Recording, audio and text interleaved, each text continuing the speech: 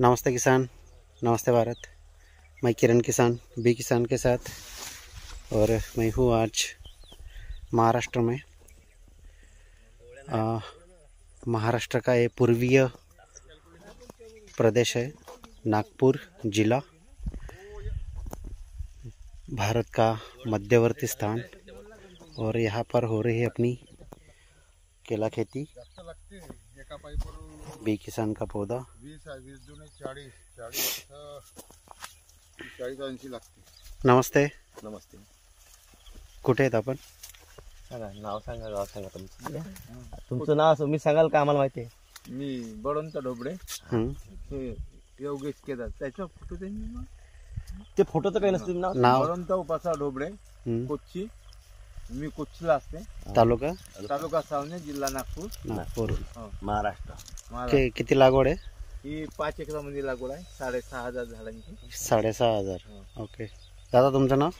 भगवंता गुलाबराव बनसिंगे तालुका सावनेर जिल्हा नागपूर. ओके. तुमचे पण आहे ना तिकडच्या हो, शेतामध्ये? माझ्या तिकडे पण आहे ना. सहा हजार झाडाची लागवड आहे. बरं बरं. पिके जी नाही. कुठलं तारीख तारीख काय लागवडीची? एक चार अं, ते- चोवीस.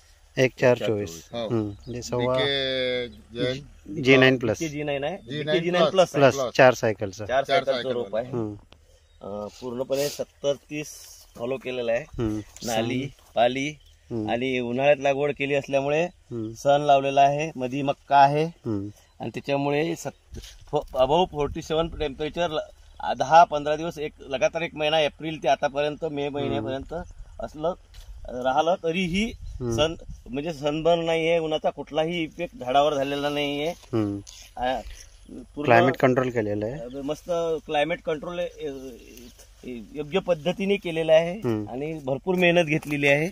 आणि हे मध्ये स्वीटकॉर्नची लागवड केलेली अं, आहे त्याच्यामुळे काय त्याच्यातून पण द- दोन पैशाचं उत्पन्न शेतकऱ्याला बरोबर. शिल्लकचं मिळू शकते बरोबर म्हणजे जो पहिल्यांदा सुरुवातीला जास्त खर्च होतो. तो याच्यातून भरपाई थोडी होईल हा, थोडं आणि हे याला क्लायमेट कंट्रोल केलेलं असल्यामुळे.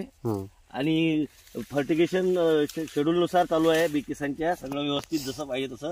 त्यामुळे पानामधला गॅप पानांची वयाच्या हिशोबाने झाडाची हाईट. आणि पानाची क्वालिटी ग्रीननेस एनओपी एकदम सुंदर दिसते. मॅच्युरिटी सिस्टम पण आलेलं आहे त्याच्यावरती. आणि जी बी किसानची गाईडलाईन आहे त्याच्या अनुसार सगळं काही शेतकरी मित्रांनी फॉलो केलेलं आहे.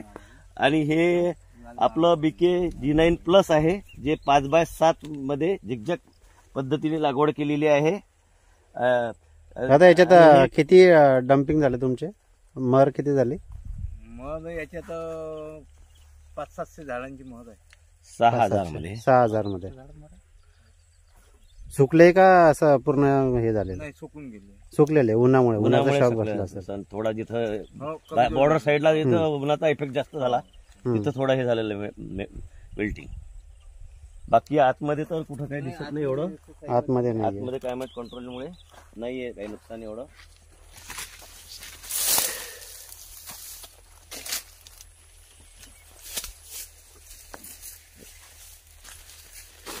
मित्रों नागपुर की अगर बात करें तो नागपुर ये पूरा भारत का मध्यवर्ती स्थान पर है और काफ़ी बड़ी मात्रा में यहाँ पर धूप होता, धूप पड़ती है।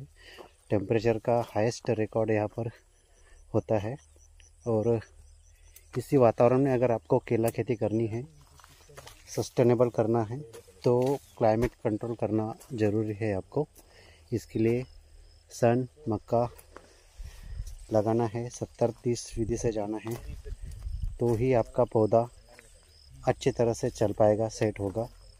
और धूप सहने के लिए प्रॉपर तरीके से तैयार रहेगा।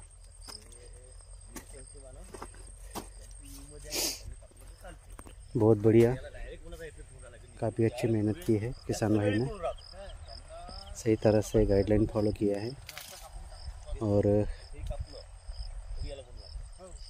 नागपुर साइड में भी केला खेती अभी थोड़ी थोड़ी बढ़ रही है, बी किसान के गाइडलाइन से। जुड़े रहे किसान, बी किसान के साथ।